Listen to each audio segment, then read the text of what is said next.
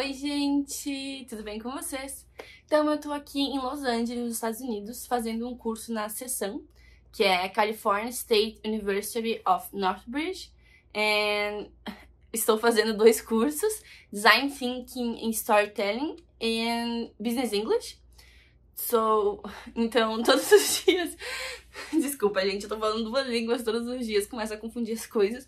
Em todos os dias eu tenho duas aulas, uma de manhã que é de Business English, então são duas horas de aula. A gente aprende algumas coisas de inglês focada para negócios, algumas revisões de inglês no geral, que a gente vai usar todos os dias. Então são aulas bem legais, aulas bem focadas para essa parte de business mostrar pra vocês tudo que eu consegui mostrar do campus, todas as partes que eu passar hoje. O campus é gigante e aqui faz muito, muito, muito calor. Então, por exemplo, eu vou todo dia pra aula de boné, não tem como não ir de boné, que senão me dá dor de cabeça. E as aulas são incríveis, os prédios são maravilhosos. Claro, todos os prédios têm ar-condicionado, aqui até o ônibus tem ar-condicionado. Então é tudo muito tranquilo, assim, pra ti de um lugar pro outro. Só na rua, realmente, que é muito quente. Eu tenho todo dia duas horas de almoço, eu como lá pela universidade mesmo, tem alguns restaurantes. Muita coisa tá fechada porque é verão aqui nos Estados Unidos, então eles estão, né, em férias. A universidade, no geral, está em férias, então tem alguns cursos internacionais acontecendo, mas no geral eles estão em férias. Aí tem alguns restaurantes abertos e alguns não. Mas tem bastante coisa, bastante opções e não opções tão caras. E depois do almoço, daí eu tenho sim Design Thinking Storytelling, que é o curso que eu tô fazendo aqui. Aí é três horas e meia de curso todos os dias. E o curso é muito legal, os professores são muito qualificados. Eu consegui uh, esse curso, me inscrevi e eu tenho uma bolsa parcial pela IBS Américas que é lá de São Paulo, faz todo o contato em português com ele, enfim. Então é uma parceria entre a minha universidade e a IBS que eu consegui bolsa para fazer parte do curso aqui. Como vocês podem ver, eu tô ficando numa casa, né? Na universidade tem um house, mas a gente, eu vim com uma amiga, a gente escolheu ficar no Airbnb, justamente para poder ficar juntas, ter mais liberdade de sair e entrar. No fim, o housing tá sendo bem legal para quem tá, mas a gente não tinha como prever, então a gente quis garantir. Então eu já tô pronta pra ir pra aula, aqui é muito quente, as roupas são bem casuais, assim, não exigem muitas coisas, assim, de vestuário nos dias dias das aulas. Então, geralmente eu vou de calça, mas pra não ter que passar protetor nas pernas coisa assim, tem que passar protetor todos os dias. E vou com uma blusa mais de boa. Eu tenho também as roupas da própria universidade. Fui na lojinha da universidade, vou mostrar pra vocês hoje também. E já comprei umas coisas, então também me ajuda a não gastar tanto as minhas roupas já tô pronta pra ir, já tomei café, comi um sanduíche aqui em casa mesmo. E vou mostrar pra vocês agora o caminho, o bairro aqui que eu tô, o ônibus que eu tenho que pegar. A passagem de ônibus é 1,75 dólares, só que é muito mais tranquilo do que a gente ir a pé. Não é impossível ir a pé, dá uns 30 minutos caminhando, só que é muito quente. Então, a gente chega na aula, tipo, muito suada, muito cansada.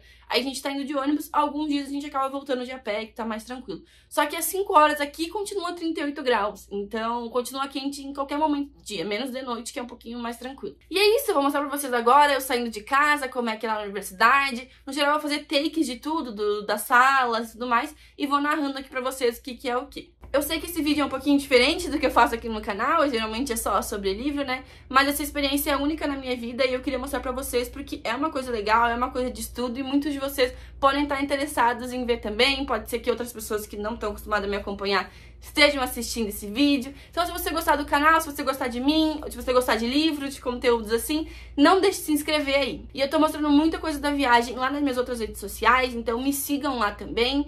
E se vocês forem fazer qualquer tipo de compra na Amazon, lembre que eu tenho um link de associado que tá aqui na descrição do vídeo. E vocês comprando qualquer coisa por esse link, vocês automaticamente me ajudam no canal.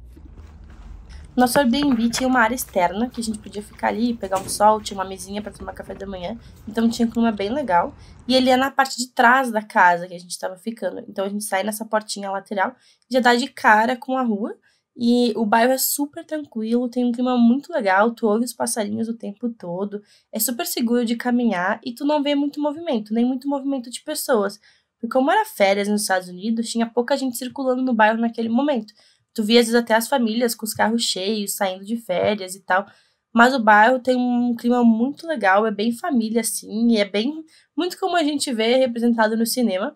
Os lixos aqui estão para fora porque vem o lixeiro recolher e tudo mais. E esse é um bairro, ah, a gente andava duas quadras, né? E já chegava ali na rodovia. Então, o bairro totalmente sem movimento e quando a gente sai para a porta, a rodovia é completamente diferente. Eu cheguei até a tirar o som de fundo daqui, porque é muito barulho, não daria para me escutar falando se tivesse o barulho dos carros, mas mais pra frente eu deixei para vocês verem o quão é alto, o quanto tem movimento. E a gente anda mais duas quadras aqui e já chega basicamente aqui, tinha uma 7-Eleven, onde a gente vai pegar o metrô. Tem essas mini plaquinhas aqui, confesso que no primeiro dia foi meio difícil identificar se era ali mesmo que a gente estava esperando, a gente fica ali aguardando e vem o ônibus. A gente poderia ir de a pé, né? Mas uh, o ônibus é bem mais fácil, o ônibus é climatizado, então vale a pena pegar ele. Depois de uns 5 minutos a gente já desce na universidade, então ele deixa a gente na rua principal e a gente vai entrando no campus.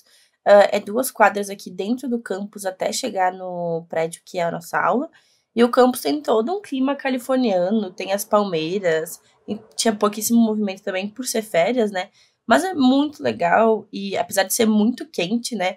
É, tem bastante árvore, tem bastante sombra, bastante verde, parece sim um parque, só que é uma universidade, uma universidade gigante.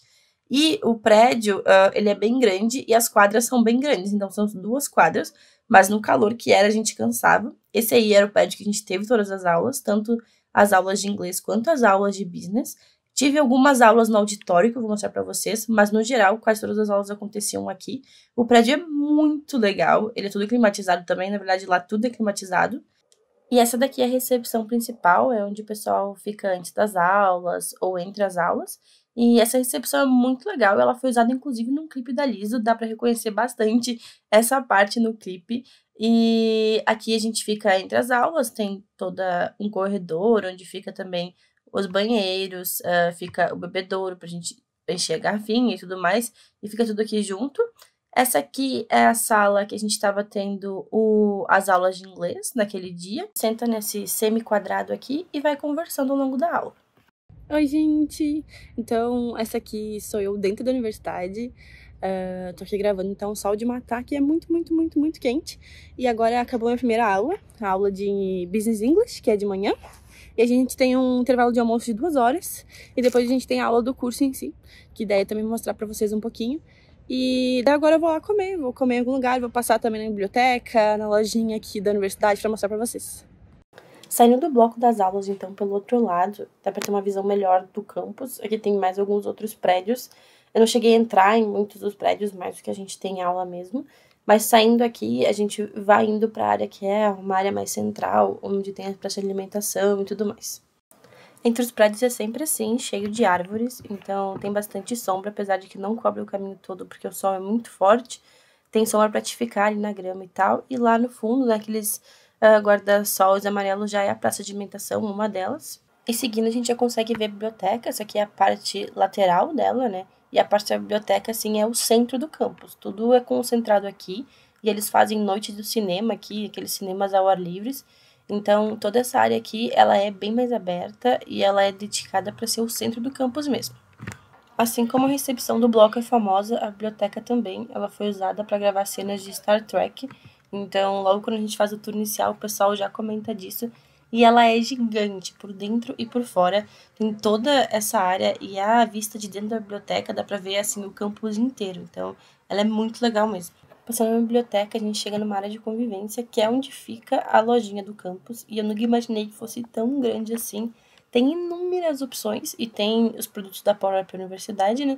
E tem outras coisas, papelaria, eletrônicos, até coisas da Apple mesmo pode comprar dentro da loja. Mas eu comprei algumas roupinhas, né, para ter de recordação, já que é uma coisa tão clássica americana, roupas da universidade. E eles têm absolutamente de tudo: roupa para o estudante, roupa para o pai, para a mãe, para quem tem filho. Então tem muita, muita, muita opção e é muito legal. E não são tão caras, tá? Tem uns preços bem bons, claro, tem coisas bem mais acima, mas em geral dá para comprar bastante coisinhas. E ainda dá para voltar pro bloco das aulas pela outra parte, por uma entrada pelos fundos, assim. Essa entrada pelos fundos dá numa rua mais principal que a gente pode sair assim mais pro bairro mesmo. Então, quando eu não queria almoçar no campus e tudo mais, dava para sair por aqui já sair mais fácil ali no bairro, né? E tinha daí fast foods como Subway, uh, Mac, inclusive. Então, ficaria mais fácil de ter acesso, Starbucks. Então, saindo por essa porta aqui, a gente saía mais na parte principal. Aqui a gente pode ver também a área de convivência do bloco. Então, é como se fosse tipo um jardim no meio de todas as salas que a gente tem. Então dá para sair no intervalo e ficar aqui. E é muito agradável, apesar do calor. Uh, é bem tranquilo de ficar ali, assim, quando tem muito sol. E entre as aulas a gente ficava nesse espaço. Essa aqui é mais uma sala de aula. Nesse dia eu tava tendo aula no auditório, mas essa é a sala que eu teria aula normalmente a, a aula daí de design sim. Como nesse dia a aula foi nesse auditório, que é muito legal, eu resolvi gravar para vocês também o auditório, que dá uma ideia assim de palco para aula. E ele é um prédio exclusivo, é um prédio que é só um auditório, basicamente, e tem uma pegada daí mais antiga, com umas colunas. Então eu também acho que ele é, no geral, um prédio mais antigo, porque ele é nessa parte mais central. E o prédio das aulas, ele é um prédio mais moderno no geral. Então o auditório é assim, parece aquelas aulas de direito que a gente vê em filme mesmo, sabe? E é bem legal de ter aula ali, apesar de quando tu vai apresentar, parece que todo mundo te encarando, fica muito legal o ambiente. E depois da aula, eu voltei para casa. E outra coisa que é muito legal é que no campus a gente vê um monte de esquilos. Então eles ficam brincando entre si, às vezes ficam te olhando assim, tentando para ver se dá para roubar uma comida ou não. Eu fico um pouco ressabiosa, mas eles são bem fofinhos e parecem no geral ser bem amigáveis. E como vocês podem ver, eu perdi meu ônibus, estava aqui esperando para atravessar e ele passou, o tal do perrengue chique, né? A gente não perde só ônibus no Brasil. E aqui eu filmei um pouquinho da parada para vocês. E nos próximos takes eu deixei o som para vocês verem o quão é alto e o quanto tem movimento nessas rodovias aqui.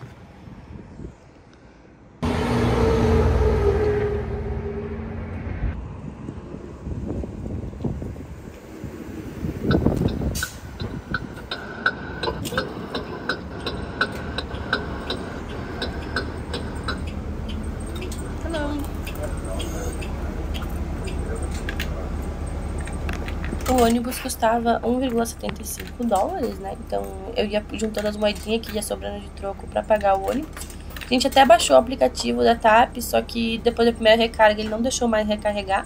Então a gente parou de utilizar, inclusive eu perdi 2 dólares no aplicativo, que eles não me devolveram. Mas às vezes o motorista ficava até meio impaciente que a gente ia colocando as moedinhas e mandavam a gente passar. Esse aqui é o ônibus, essa é a parte interna deles. E é uma viagem curtinha, mas eu gravei aqui o trajeto para vocês. E esse é um dos prédios mais famosos de lá, que é uma certa galeria de arte, auditório.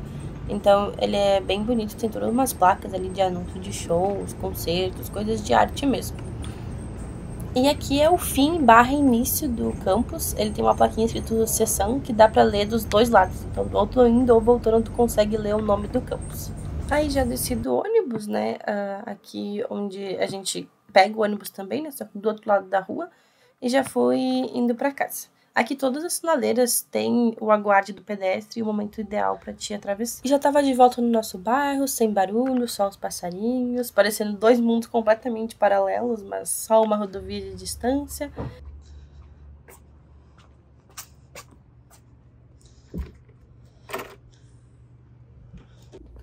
Oi, gente, recém cheguei em casa agora, hoje tá muito quente. Como vocês viram aí, perdi o ônibus, então fiquei mais tempo ainda no sol esperando, mas agora eu tô em casa, que tem ar-condicionado, tá mais de boa. E hoje foi um dia bem legal, a gente teve ali a aula de inglês, a gente teve também a aula do curso. Basicamente todos os dias eu tenho tarefa, então de noite a gente não sai, não faz muita coisa. Então hoje eu tenho que preparar um texto, uma apresentação, slides, tudo para amanhã. Geralmente é assim, de um dia pro outro tem coisa para fazer, sabe? Então também é pesado, não é assim, ficar passeando todos os dias. Só que a gente tem aula de segunda a quinta e o Business English de segunda a quarta. Então a gente também tem tipo tempo no final de semana, na sexta para fazer as coisas, sabe? A gente teve também palestras com convidados. Agora eu tô na última semana. Nas primeiras semanas eu não tive muito tempo de gravar, então uh, tô gravando nessa última semana aqui. Essa semana a gente tem até cerimônia de certificado, são três semanas de programa. E vale muito a pena até então, eu não tenho nenhuma grande reclamação assim. Tá sendo tudo ótimo, a Califórnia é maravilhosa. Tem alguns prós e contras, assim, é muito quente, por exemplo. Mas no geral, todos os lugares que a gente foi foram ótimos. Meu lugar preferido foi a Warner Studios. Eu fiz vários vídeos pro meu TikTok, então lá no meu TikTok tem um resumo de vários lugares que a gente foi. A gente foi no jogo do Dodgers, a gente foi em várias coisas e tem lá no meu TikTok, porque daí eu fiz vídeos mais curtinhos, mais fácil de gravar na vertical e eu quis vir aqui mostrar para vocês de fato a rotina da universidade, que é uma coisa mais longa. Que é muito legal de ver e eu tô muito feliz de estar podendo participar disso tudo. Eu espero que vocês tenham gostado desse vídeo. Se vocês já conheciam aqui a Universidade de Northbridge, uh, aqui da Califórnia, me contem nos comentários se vocês já fizeram um tipo de curso assim também. Eu sei que não é muito tempo, mas é uma experiência maravilhosa. É o que eu consigo também tirar de férias do meu trabalho. Então tem sido ótimo. Então deixem nos comentários o que vocês acharam, se vocês já fizeram alguma coisa parecida. Tô ansiosa pra saber. Até o próximo vídeo, gente. Provavelmente vai ser de livro, mas eu não podia deixar aqui de mostrar minha rotina dessa experiência maravilhosa que eu tô tendo aqui em Los Angeles. Se você gostou desse vídeo, não deixa de dar o like aí. Até a próxima. Beijos!